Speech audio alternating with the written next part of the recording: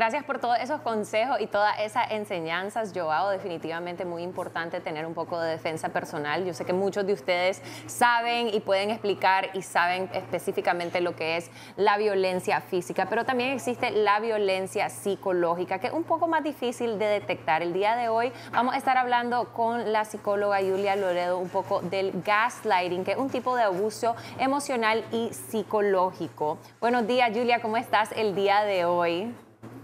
Buenos días, Michelle. Bastante contenta de estar acá y, y ahí estaba aprendiendo un poquito también de defensa personal. Así es, así es. Ahora entramos a lo que es el gaslighting. Es un término eh, semi nuevo, la verdad, algo que se ha integrado a nuestra cultura, a nuestro pop culture últimamente en cuanto al abuso psicológico. Así que yo sé que muchas personas todavía no están claras de lo que es. Entonces quisiera que nos hablaras un poco qué es lo que es y cuáles son las características que lo definen. Claro que sí. A como vos decís, eh, el término en sí es el nuevo, ¿verdad? Pero cuando hablamos de gaslighting o cuando hablamos de, de luz de gas, pues no es nada más y nada menos que una forma de manipulación psicológica en la que una persona que normalmente es un abusador, un agresor, intenta hacer que su víctima dude de su percepción, dude de su memoria, dude eh, de su estado psicológico, es decir, de su cordura, y generalmente lo podríamos decir en palabras coloquiales, trata de mandarle a su cancha la responsabilidad eh, que se debería de compartir en una relación, normalmente una relación sentimental, pero también puede pasar en una relación laboral o en cualquier otra relación interpersonal. Básicamente la hace sentir culpable de las cosas en donde se debería de compartir una responsabilidad. Y hablando de características, hay varias, pero me gustaría enfocarme como en las principales para que lo podamos notar de manera más sencilla. La primera es que podemos ver que la víctima tiene su realidad distorsionada. Eh, es decir, como el, como el abusador niega los hechos, viene a tergiversar la verdad, esto hace que, que la víctima se confunda. Entonces ya llega un punto en el que para ella la, la realidad está distorsionada y lo podemos ver cuando conversamos con ella, cuando le decimos, pero estamos viendo esto y esto y esto en esta relación. Y la persona te dice, no, no, realmente no es así, lo que pasa es que es esto, se excusa, se justifica. Entonces vemos como hay una realidad distorsionada. Como segundo punto, podemos ver que hay una minimización de los sentimientos de la víctima. La persona está constantemente desvalorizándose y si dice sus sentimientos, viene seguido de un discúlpame, eh, yo sé que esto no es tan importante o no te lo quise decir de esta manera. Se preocupa mucho en si está exagerando y esto pasa, vuelvo a repetir, cuando ya habla con cualquier otra persona que no sea necesariamente el abusador. Otro punto que vemos es que suelen aislarse bastante. Y es una técnica que se utiliza mucho en el gaslighting porque el objetivo del abusador es precisamente ese, aislar a la víctima de sus amigos, de sus familiares y de las otras fuentes de apoyo que esta persona pueda tener y esto con el objetivo pues, de aumentar su control para poder ejercer su poder. Y por último, pues vemos esos rasgos de manipulación emocional. Aquí es como dice el, el, el, Mica, ¿no? Una de cal y una de arena. Vemos que constantemente el abusador alterna entre comportamientos que son afectuosos y entre comportamientos que son crueles para mantener a la persona en un estado de incertidumbre emocional, que es lo que puede utilizar, pues, obviamente, para manipular. Por supuesto, bien interesante. Ahora, Julia, quisiera saber cuál es el impacto psicológico que hay en la salud mental, quizá a largo plazo, porque ya nos dijiste que a corto plazo la persona, la víctima, puede estar dudando de su realidad, pero a largo plazo, ¿cuáles pueden ser los efectos negativos? Y también quisiera también especificar cuando a un niño específicamente se le hace el gaslighting, cómo esto puede afectarlo cuando ya llegue a la adultez. Claro que sí. Bueno, cuando hablamos meramente de un gaslighting en los niños, eh, podríamos decir que tiene básicamente las mismas repercusiones que cualquier otro tipo de abuso. Y aquí en los niños viene a ser un poco más complejo porque todavía la identidad no está desarrollada. Entonces, al no estar desarrollada, el niño o la niña puede definirse basándose en esta experiencia de luz de gas o de gaslighting.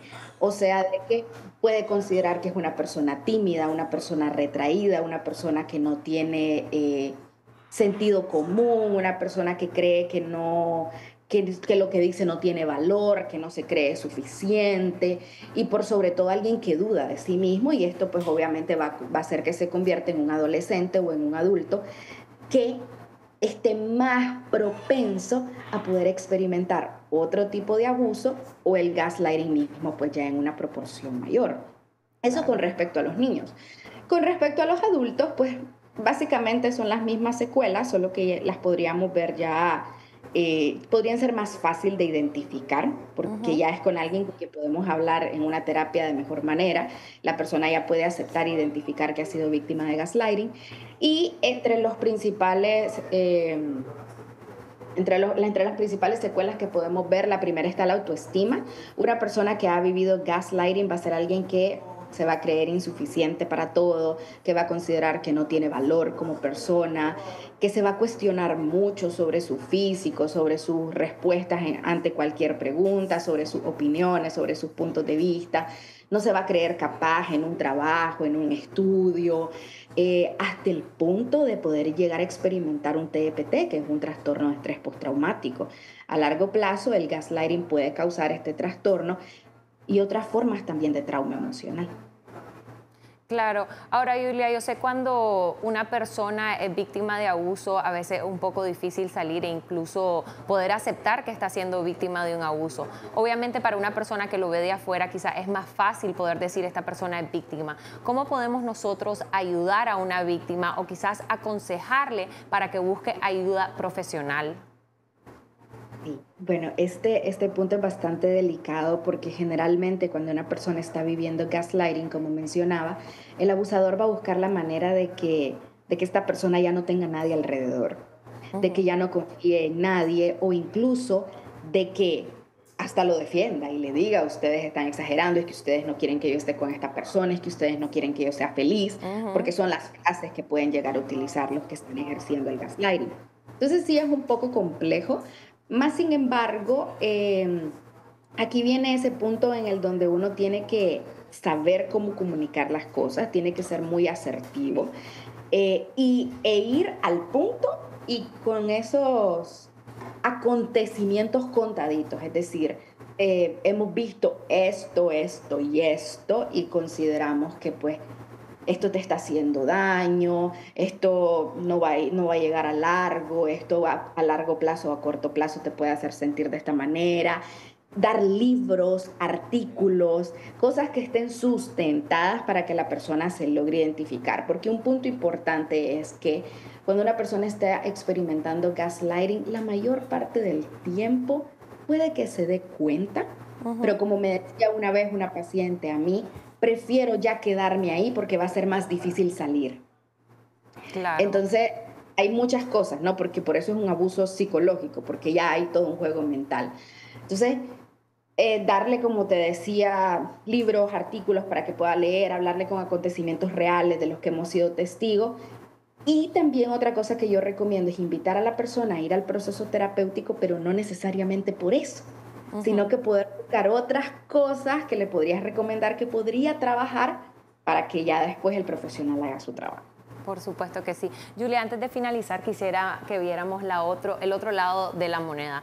Cuando una persona es abusiva o cuando está aplicando el gaslighting, ¿siempre es una persona abusiva o será que esto es una reacción ante un abuso anterior a esta persona?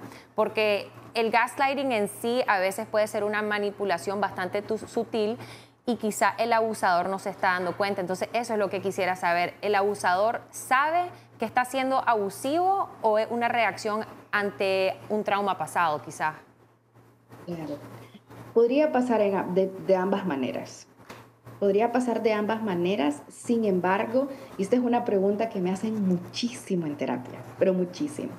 Podría pasar de ambas maneras, sin embargo, es casi inevitable que el abusador no se dé cuenta, porque ya sea que inició sin darse cuenta, se va a terminar dando cuenta porque de una u otra manera la víctima va indicarle cómo se está sintiendo. Claro. O cualquier otra persona de afuera. Entonces ya en ese momento ya sabe que algo está pasando. Y aquí viene el momento de tomar la decisión si continúo comportándome de esta manera o no. Entonces, al final de cuentas, sí, esta persona se termina dando cuenta, pero en la mayor parte de los casos, quienes ejercen el gaslighting son personas que ya están desensibilizadas emocionalmente hablando. Entonces, aquí hay muchas cosas, ¿no? Aquí ya podríamos hablar de lo que es la personalidad narcisista, aquí ya, podríamos hablar de heridas de infancia, de traumas, como vos me mencionabas, pero vuelvo a repetir, en un punto u otro, pues ya la persona se da cuenta de que está haciendo un daño, porque si lo dejan saber. Por supuesto que sí. Muchísimas gracias por toda esa información, Julia. Si alguno de nuestros amigos televidentes quieren contactarse con vos, quizás están sufriendo de algún tipo de manipulación psicológica o simplemente quieren tener una charla con vos, ¿dónde pueden encontrarte? En Facebook y en Instagram como psico.julia con Y Loredo.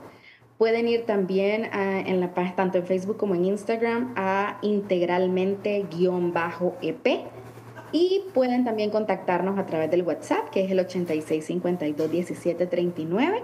Ahí mi asistente con muchísimo gusto les puede atender y, y mostrarles el catálogo de nuestras especialistas. Nuevamente, muchísimas gracias por hablarnos de este tema. Me pareció muy, muy interesante. Definitivamente hay que aprender un poco más a fondo del tipo de abuso psicológico que se emplea con el gaslighting para poder evitarlo en nuestras vidas. Nosotros vamos a un pequeño corte comercial. No se vayan que volvemos con más de su revista favorita.